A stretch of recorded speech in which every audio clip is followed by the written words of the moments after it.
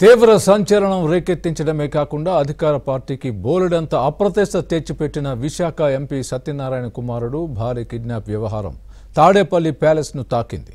కేంద్రం వరకు వెళ్ళిన ఈ వ్యవహారం మెడకు చుట్టుకోవడంతో ముఖ్యమంత్రి జగన్ ఎంపీ కుటుంబాన్ని తాడేపల్లికి పిలిపించుకున్నారు.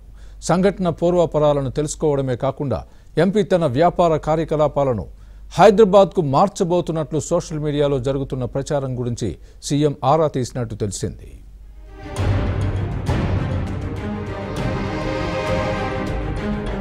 విశాఖలో వైసీపీ ఎంపీ సత్యనారాయణ కుమారుడు ఆయన సతీమణి ఆడిటర్ జేవీ కిడ్నాప్ చిత్రహింసకు గురి చేసి డబ్బు దండుకున్న వ్యవహారం సంచలనం సృష్టిస్తోంది.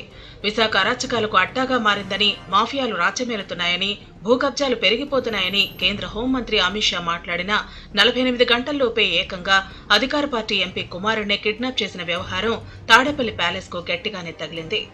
నాలుగు రోజులుగా మీడియాలో వస్తున్న వార్తలు అధికార పార్టీని చికాకు పరుస్తున్నాయి. విశాఖలో ఎంపీ కుటుంబం కిడ్నాప్కు సంబంధించి సోషల్ మీడియాలో అనేక కథనాలు వైరల్ అవటం ఆ పార్టీకి పెద్ద దెబ్బగా మారింది.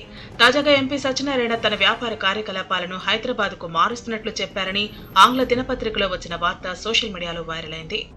అధికార పార్టీ ఎంపీ కుటుంబ సభ్యులకే రక్షణ లేకపోతే ఇక సామాన్యుల పరిస్థితి ఏంటని ప్రజలు ప్రతిపక్షాలు ప్రశ్నిస్తున్నాయి. రాష్ట్రంలో శాంతి భద్రతలపై దుమ్మెత్తి పోస్తుండటంతో అధికార పార్టీ డిఫెన్స్లో పడింది.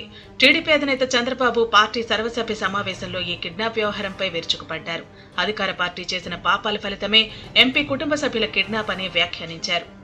మీ విశాఖపట్నంలో మీ ఎంపీ కొడుకుని ఇంట్లోనే గృహ నిర్బంధం చేసి డబ్బులు డిమాండ్ చేసి మళ్ళా ఆయన ద్వారా ఎంపీ భార్యని అతని తల్లిని పిలిపించుకొని మళ్ళా ఆడిటర్ని పిలిపించుకొని లక్ష ఎనభై వేలు కలెక్ట్ చేసి కోటి ఎనభై లక్షలు కలెక్ట్ చేసి ఇంకా డబ్బులు ఇమ్మని గంజాయి తాగుతూ కొడుతున్నారని ఆ ఎంపీ కొడుకు సర్టిఫై చేస్తాడు.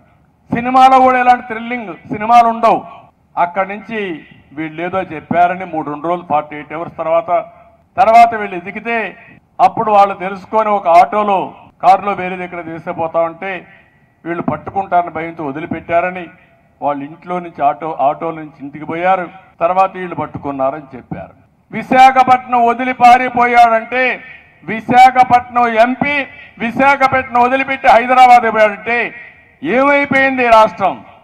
ఈ నేపథ్యంలో పార్టీ అధినేత జగన్ స్వయంగా రంగంలోకి దిగి డ్యామేజ్ కంట్రోల్ ఎక్సర్సైజ్ ప్రారంభించారు.